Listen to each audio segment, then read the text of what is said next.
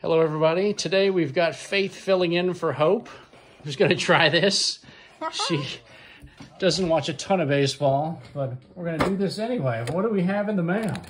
We have practice cards. Yeah, wow, practice. Yeah. I guess 2014 Topps Heritage, one of those $1 packs. Okay, so- 1965 design. Bro, we got Jered Weaver.